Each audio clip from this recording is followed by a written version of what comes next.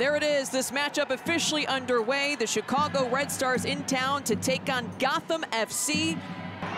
Lavelle. Cuts back, shot on goal, just high.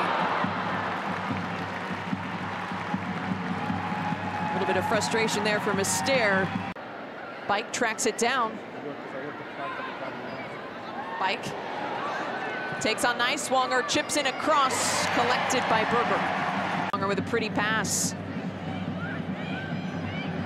Sheehan looking for some options. Ryan shoots just high. Schlegel dispossessed. Lavelle.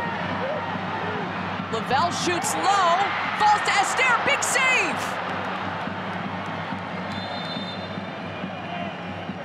Whistle blows though. Lavelle surveying. Gets it across. Ryan shoots, saved.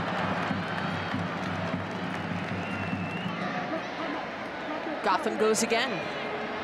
Williams cuts middle. By two defenders, charging in. Sheehan fires, another save for Wood. See how far she goes. Swanson, nice slotted ball through. Shot is wide. Hocking gonna want that one back. Gotham trying to get something going there on the far side. Here could be a counterattack for Chicago. Hocking on her horse. Swanson shoots, saved. Wow! Brilliant stop from Berger. Lavelle waiting for the overlapping run. Sheehan in the corner. For the ball. Sheehan with some space. Sends it across, headed towards goal, just touched over. That front three making a difference.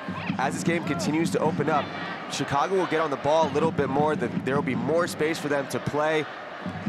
Expected to see a little bit more back and forth action here in the last 35 minutes plus. Chicago came into the day tied for sixth in the league with 14 goals, and some of those teams already having played this weekend. Nice Nighswonger skies one.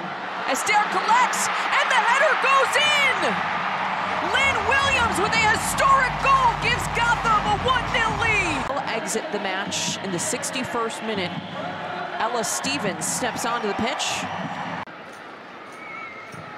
Swanson curls it, header, touched away, second ball, put home. Chicago on the far post who heads it back across. It's a big time save here from Berger, but Hocking continues her ball, she continues her. Good composure. Williams cuts middle. Williams shoots from distance, but it's saved easily by Wood. Nice Nighswonger. The outswinger. Nighswonger's cross. Header goes in!